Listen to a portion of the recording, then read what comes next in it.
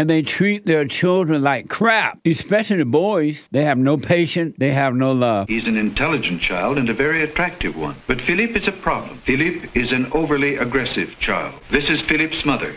He's terribly disobedient. A child has to know and has to respect authority. Somewhere along the line, I failed. Who do you think's the most important person in his life?